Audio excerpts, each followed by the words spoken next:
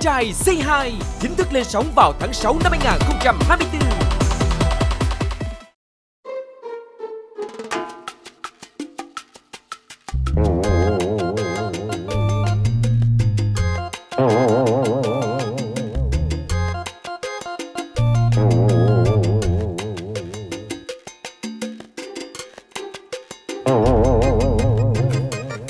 Không được.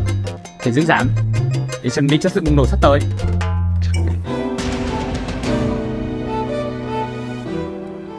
Hello, xin chào tất cả quý vị khán giả của Anh Trai C2, mình là Đức Phúc. Sau thời gian dài, bạn mới tham gia lại một chương trình giải trí về âm nhạc thì cảm xúc đầu tiên khi nhận lời mời này là gì?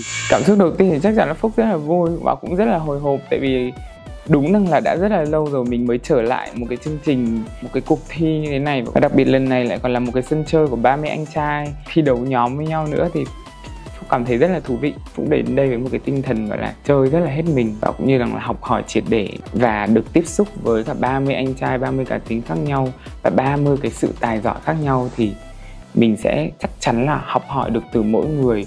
Không nhiều thì cũng ít. Chắc chắn là mình sẽ sẽ tận dụng cái cơ hội lần này. Ngoài hát, bạn nghĩ thế mạnh nào của bản thân sẽ gây ấn tượng mạnh với khán giả khi xuất hiện tại Anh trai Say Hi? chắc chắn là mỗi anh trai sẽ đều có những thế mạnh khác nhau. Thì đối với phúc thì ờ, phúc nghĩ rằng là mình may mắn cũng có một cái giọng hát cũng trộm vía. Cũng hay hay được quý vị khán giả yêu thích. Nhảy thì dạo gần đây cũng tiến bộ hơn rất là nhiều.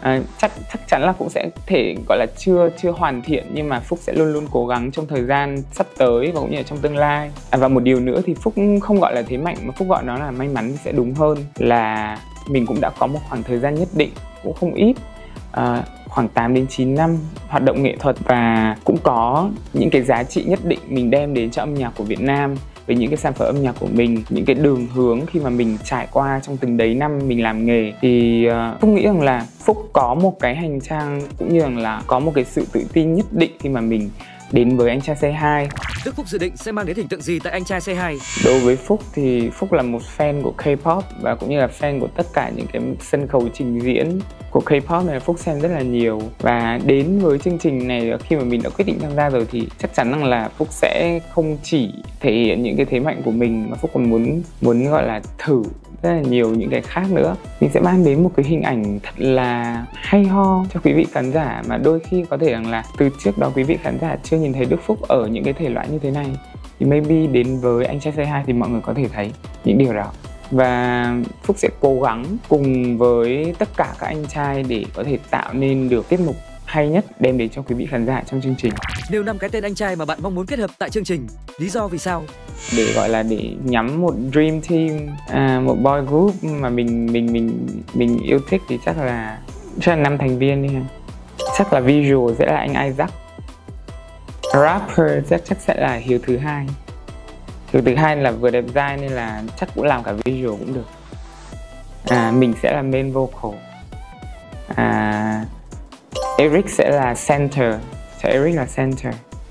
Eric cũng là main dancer cũng được tại vì Eric nhảy cũng rất là đẹp và rất là thần thái. Uhm. còn còn một vị trí cuối cùng là main dancer thì cũng chưa biết là anh trai nào sẽ kiểu siêu siêu về nhảy. Uhm, thôi cái này chắc là sẽ để sau. Trước mắt là bốn người này chứ tôi nghĩ đến khi mà ở trong một cái team này thì chắc chắn là mọi người sẽ support về cho nhau rất là nhiều à, để có thể tạo nên được một cái uh, tiết mục thật là hay.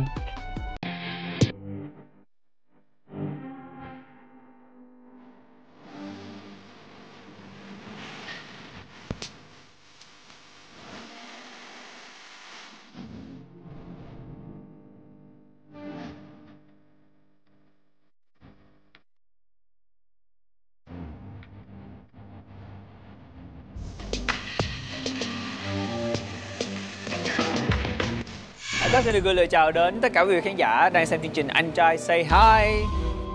Khán giả rất bất ngờ khi Isaac tham gia Anh trai Say Hi. Vậy điều gì đã khiến bạn quyết định tham gia? Sau khi gặp gỡ ban tổ chức cái chương trình nhà sản xuất thì Isaac cảm thấy rằng là đây sẽ là một trong những cái chương trình mà có một cái sứ mệnh là sẽ đem đến những cái món ăn tinh thần về âm nhạc cho quý vị khán giả và cũng thật sự rất là lâu rồi chúng ta vẫn chưa có những cái sản phẩm âm nhạc về nhóm để đem cho mọi người trong những năm gần đây cho nên Isaac nghĩ rằng là thôi thì xem như là mình sẽ tham gia cùng với tất cả những người anh em trong anh trai xe 2 đích chính đó chính là đem đến những màn trình diễn những bài hát thật là năng lượng và hay thật là mới mẻ đến với tất cả mọi người Đến với chương trình, bạn đã đề ra những kỳ vọng gì đối với bản thân, mong muốn thay đổi, nâng cấp điều gì nhất? kỳ vọng lớn nhất thì Isaac không dành cho Isaac đâu bởi vì thực ra là như cũng mọi người cũng đã biết Isaac cũng đã may mắn có được cơ hội đến gần gũi hơn với khán giả rất là nhiều rồi thông qua rất là nhiều những chương trình âm nhạc rồi show thực tế phim ảnh được rồi cho Isaac nghĩ là mình sẽ không quá nhiều hy vọng cho bản thân Isaac cũng biết rằng là khán giả sẽ có rất là nhiều kỳ vọng và cái sự mới mẻ của Isaac và Isaac chắc chắn là sẽ có rất là nhiều sự mới mẻ khi cùng bạn đồng nghiệp của mình khi mọi người xem ra chương trình, mọi người thấy 30 anh trai thế nào? Thì đó là những cái điều mà Isaac nghĩ rằng là Isaac chỉ cần cố gắng làm tốt nhất. Mà điều mà Isaac hy vọng lớn nhất đó chính là làm sao mà anh trai xe 2 thành công và đem đến thật là nhiều những món ăn tinh thần đến cho tất cả mọi người. Bởi vì Isaac biết rằng là trong những năm vừa qua, mọi người cũng đã được xem rất là nhiều rồi. À, Show thực tế, phim, ảnh, âm nhạc, tất cả mọi thứ, thì Isaac nghĩ rằng là anh trai xe 2 sẽ làm một món ăn tinh thần cực kỳ mới và cực kỳ nhiệt huyết và năng lượng dành dành cho tất cả mọi người. Isaac luôn là người thân thiện và nhẹ nhàng nhưng nếu phải bật bút chiến trong chương trình thì sẽ thay đổi như thế nào? Tới cái giờ phỏng vấn này á, thì mọi người cũng biết là Isaac đã trải qua rất là nhiều những cái uh, cuộc chiến rồi. Có nghĩa là mình không có muốn chiến nhưng mà tình thế bắt buộc mình phải chiến. Có những cái lựa chọn thì Isaac bắt buộc mình phải đưa ra và mình không thể tránh khỏi được. Cảm thấy rằng là khi mà mình đưa ra những quyết định như vậy thì cũng rất là thương những anh em của mình. Nhưng mà bây giờ chương trình hỏng cho đường lui. Có nghĩa là bắt buộc là phải đưa ra những quyết định và thường những quyết định đó là sẽ mang cái tính chất tạo nên cái cái cái sự sôi động cũng như là cái sự thi đấu của các anh trai cùng với nhau. Một người chơi thì chắc chắn nó sẽ phải có những cái sự kịch tính như vậy thú vị cho với khán giả. Cho nên là hy vọng mọi người à, sẽ yêu thích anh trai C2 và hãy xem những cái sự đối đầu của nhau như vậy là những món ăn tinh thần. Dùng một từ để miêu tả Isaac lúc bật bút chiến. bình thản. Tại vì thực ra là Isaac không phải chiến một cách cố tình mà Isaac chỉ đưa ra những quyết định mà mình phải đưa ra thôi. Bởi vì à, toàn là như anh em của mình thôi mục đích chính của Isaac khi đến chương trình là cùng với tất cả những anh em của mình cùng với những kinh nghiệm mình có được tạo nên những cái bài hát những tiết mục hay nhất có thể. Đôi khi là học hỏi lại từ các bạn trẻ nữa. Cuộc chiến nó đến một cách bất đắc dĩ và Isaac phải chiến đấu. Đã nổi tiếng như vậy rồi, khi đến tham gia chương trình, Isaac có áp lực về sự kỳ vọng của khán giả không? Thật ra Isaac chưa bao giờ nghĩ là mình đã quá nổi tiếng và thực sự là mình phải nổi tiếng như thế nào đó mà lại có những cái suy nghĩ gọi là nó khác biệt. Isaac xác định nhé, anh cho C2 sẽ làm một cái chương trình ca nhạc. Isaac sẽ phải kết hợp với rất là nhiều những người bạn đồng nghiệp của mình để tạo ra một tiết mục biểu diễn nhóm nhạc hay nhất cho chương trình. Đó là mindset của Isaac. Còn việc rằng là à nếu tuần đó tiết mục của mình hay thì được khán giả đón nhận thì quá vui rồi mà ngày hôm đó tiết mục của mình nó chưa đạt đủ kỳ vọng khán giả thì thực ra là Isaac nghĩ mình sẽ phải cố lên rất là nhiều. Tại vì một trong những cái nguyên tắc khi làm việc nhóm đó chính là chúng ta sẽ không có thể kiểm soát được tất cả những yếu tố, bởi vì có rất là nhiều thành viên và bản thân một mình mình cố gắng cũng không phải là là một cái điều chắc chắn. Điều quan trọng phải vực dậy tinh thần của tất cả mọi người và cùng nhau thể hiện. Bởi vì đôi khi Isaac cũng mắc lỗi mà, tất cả mọi người sẽ mắc lỗi. Đó chính là cái tinh thần của anh trai C2 không ngại mắc lỗi và không sợ gì hết. Chỉ cần đem đến những cái gì đó mới nhất, tinh thần tuyệt vời nhất dành cho mọi người trong chương trình lần này. Đó là cái điều mà Isaac mong muốn.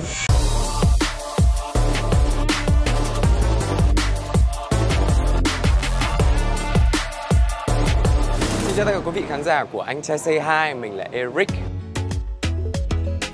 Đây là một cái cuộc thi sống còn mà Eric thấy rằng là bản thân Eric khi được đặt vào trong một cái môi trường có rất nhiều những anh trai giống mình thì mình sẽ hoàn thiện bản thân mình một cách nhanh hơn và đó đó cũng là một cái lý do lớn để mà Eric quyết định tham gia Anh Trai Say 2 lần này. Thì bản thân Eric cũng chưa biết nó sẽ diễn ra như thế nào nhưng tuy nhiên uh, Eric nghĩ là còn rất là nhiều những cái điều thú vị mà anh Chazia sẽ đem đến cho mọi người và Eric chắc chắn rằng là khi mà Eric là một nhóm trưởng thì Eric sẽ là một người có trách nhiệm sẽ là một người hết mình về về nhóm của mình cũng như là sẽ giúp sẽ cố gắng bằng tất cả những cái gì mình có thể làm được bằng tất cả những kinh nghiệm mà mình đã có trong suốt 8 9 năm làm nghề vừa qua để mà có thể uh, cùng đồng hành với mọi người và nếu mà mọi người tin tưởng để cho Eric làm nhóm trưởng thì mọi người hãy cứ đặt niềm tin ở Eric, Eric chắc chắn sẽ không làm mọi người thất vọng. Khác chứ. Ý là bình thường thì à, với gia đình con thơ một thì nó là một cái ngành rất là gần gũi và tất cả quý vị khán giả trước đây mọi người cũng đã từng uh, rất là yêu quý rồi. À, còn đối với anh trai C2 thì đây là một cái nơi mà để Eric có thể thể hiện cái tôi âm nhạc của mình cũng như là cho mọi người thấy phần con người của mình nhiều hơn bởi vì đây không chỉ là một show về âm nhạc nó còn là một chương trình uh, reality show nữa.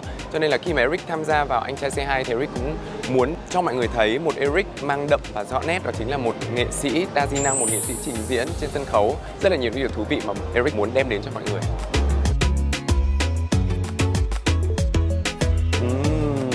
Cũng đã từng rap rồi đã từng uh, gọi là một à, rapper thứ thiệt trong bài anh Nam Quốc Sơn Hà rồi. Nợ trầm họa thi nhau đua nở Mảnh đất như là vàng Sông núi nước Nam vua Nam mở Giặc dự cất sao làm càn. Ông cha giữ lấy nước Đại Việt Bao lần chiến công luôn oanh liệt. Với những anh hùng đại hào kiệt Yeah, yeah Anh trai Eric đã có mặt tại anh trai C2 rồi Nên là mong rằng mọi người hãy ủng hộ cho anh trai Eric cũng như là 29 anh trai còn lại trong anh trai C2 và cùng ủng hộ cho chương trình anh trai C2 nhá.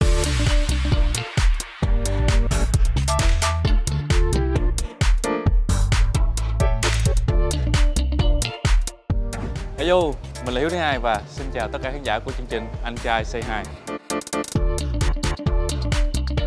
Mình đã tập vũ đạo này, rất là nhiều kỹ năng trong chương trình này, rất là cần cái bộ skill set của một cái anh trai toàn diện.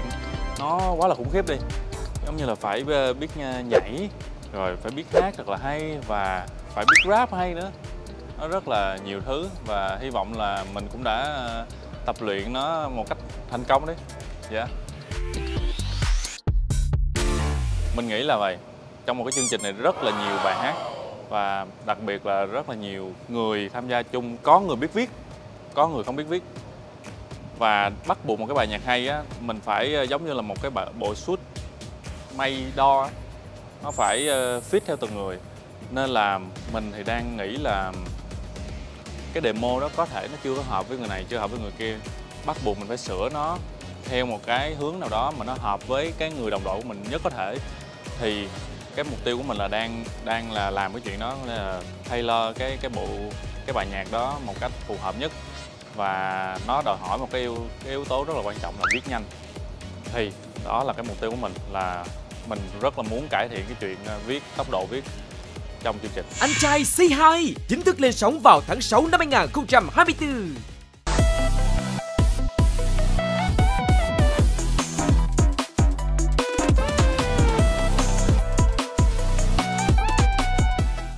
Hello xin chào tất cả mọi người. Lại là DJ House Rider. Lý do Rider đến với chương trình Anh trai C2 À, lần này mình đến với anh trai C2 thì thật sự là mình rất là muốn à, thể hiện à, những thứ mà mình đang có và mình đã được à, học ở trong trường cũng như là à, muốn à, bứt phá bản thân hơn nữa. Và cũng như là muốn được à, gần gũi với khán giả hơn để mình có thể à, đưa đến những à, màn trình diễn thật là hay và à, thật là um, đẹp mắt cho tất cả mọi khán giả. Bạn sẽ làm gì để tạo điểm nhấn cá nhân, thu hút khán giả khi đứng trong đội hình nhiều anh trai nổi tiếng? Thật sự thì à, mình nghĩ là mình sẽ cố gắng hết sức à, bằng một cách nào đấy thì mình sẽ vẫn à, à, cố gắng để à, làm sao để khi mà khi mà mình xuất hiện mọi người sẽ à, thật sự là thấy à, bất ngờ cũng như là mọi người sẽ đón chờ mình nhiều hơn.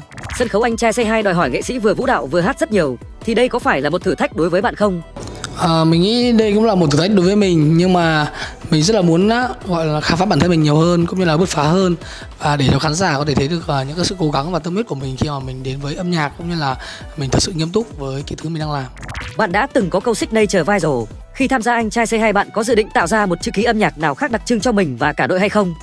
Yeah, cái này thì uh, mình nghĩ là khi mà mình uh, bước vào với chương trình thì mình sẽ được gặp gỡ với mọi người và mình sẽ cố gắng à, làm một điều gì đấy để khiến cho mọi người ghi nhớ được nhiều hơn và ấn tượng nhiều hơn.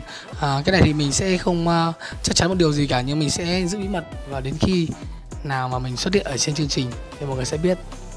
Yeah, và rất là mong mà mọi người sẽ theo dõi cũng như là ủng hộ và đồng hành cùng với Rider trong Anh trai C2 Cảm ơn mọi người rất nhiều trong thời gian qua đã ủng hộ cho Rider Và rất mong trong chặng à, đường phía trước mọi người vẫn sẽ ở đấy và ủng hộ cho Rider cũng như là DJ hao nhá. Vion phiên bản toàn cầu miễn phí trải nghiệm tháng đầu tiên.